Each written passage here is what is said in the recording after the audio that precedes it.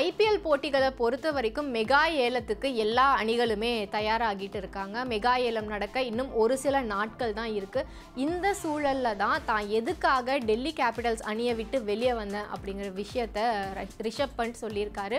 ஆரம்பத்தில் ரிஷப் பண்ட் வந்து பணத்துக்காக தான் அங்கேருந்து வெளியே வந்தார் அப்படின்னு சுனில் கவாஸ்கர் ஒரு மிகப்பெரிய குற்றச்சாட்டை முன் வச்சுருந்தார்.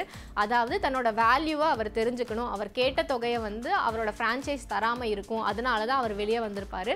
ஒருவேளை இப்போ மறுபடியும் அவர் ஏலத்துக்கு வரனால டெல்லி அணியே கூட அவரை ஏலத்தில் எடுக்கிறதுக்கு முன் வரலாம்.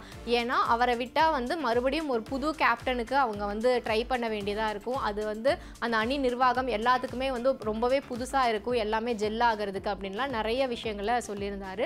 இதனால வந்து கண்டிப்பாக இதுக்கு பதிலடி கொடுக்க வேண்டிய நிலைமைக்கு வந்து ரிஷப் பண்ட் தள்ளப்பட்டிருக்காரு அப்படின்னு தான் சொல்லணும். ஏன்னா எந்த ஒரு வீரராக இருந்தாலுமே வந்து பணத்துக்காக வராங்க அப்படிங்கிற ஒரு விஷயத்த வந்து அவங்க மேலே முன்வைக்கும் போது கண்டிப்பாக அதை ஏற்றுக்க மாட்டாங்க. அதை தான் ரிஷப் பண்ணிட்டும் பண்ணியிருக்காரு.